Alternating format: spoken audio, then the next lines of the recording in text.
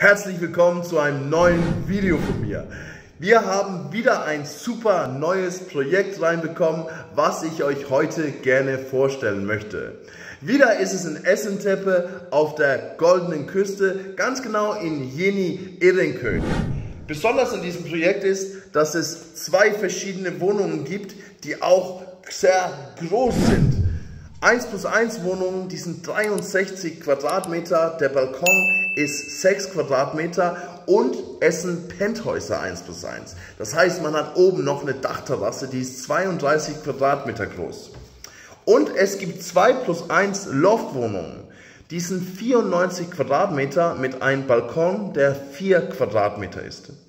Das Besondere an diesem Projekt ist, dass man eine Finanzierungsmöglichkeit hat, auch wenn das Ganze fertig gebaut ist im Juni 2026. Es heißt, 30% muss man anzahlen, die nächsten 40% bis zur Schlüssel, Schlüsselübergabe und die letzten 30% hat man noch zwölf Monate Zeit nach der Schlüsselübergabe, das in Raten zinsenfrei zu zahlen.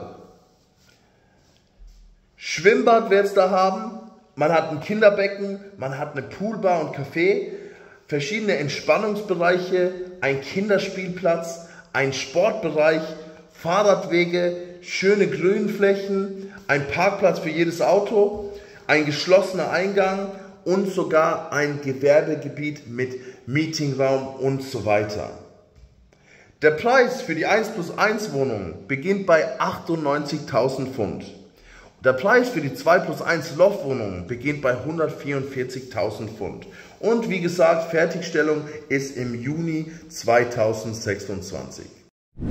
So, wenn ihr mehr wissen wollt darüber, schreibt mich an. Ich habe alle Informationen darüber und folgt mir gerne, folgt den Kanal, schreibt mir auf Facebook, schreibt mir auf Instagram. Ich bin immer für euch da. Und Leute, kommt nach Zypern.